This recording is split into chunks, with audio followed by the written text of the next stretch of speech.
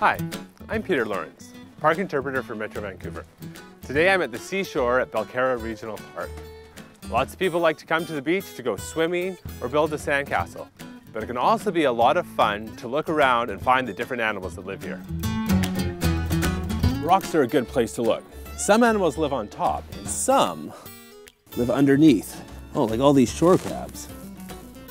When you're done looking under the rock, it's best to turn it back the same way because the animals underneath don't want to be left out in the sun. And those on top don't want to get buried in the mud.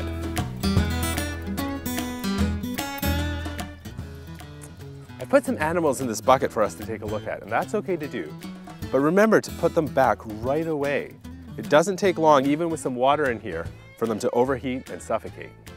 Well, let's see what I found.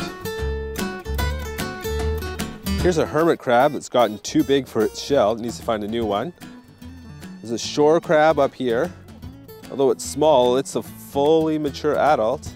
And the long fellow down here is a bristleworm.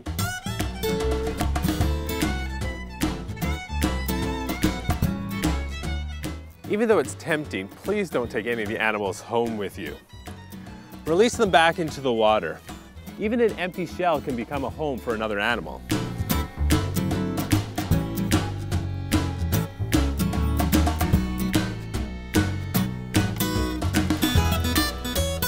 Remember, wherever you are in the region, there's a park just waiting for you to explore. See you out there.